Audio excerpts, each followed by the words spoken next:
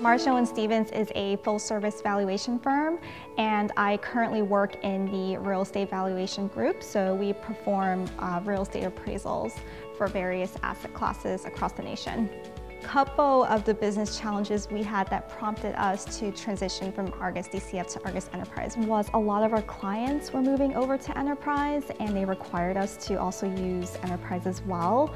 Uh, that's one reason. And the second reason is just um, we're a firm that likes to advance. We're always trying to work with the most current technology um, so we can do our work the fastest and the most efficient. And we just felt Enterprise was the next step for us, even though we we had been working with DCF for a long time, we were comfortable, we wanted to take it to the next step. We think some of the benefits we're seeing since transitioning from Argus DCF to Argus Enterprise is we are able to just pull many more reports than we were able to when we had DCF and it just makes our modeling time um, faster.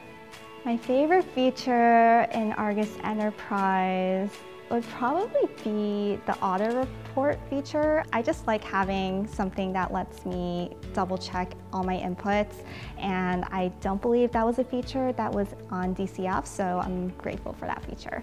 The time I save using Argus Enterprise versus DCF would probably range from 30 minutes to an hour because I tend to be very thorough and I like double checking all of my inputs, so having the report is definitely a time saver for me.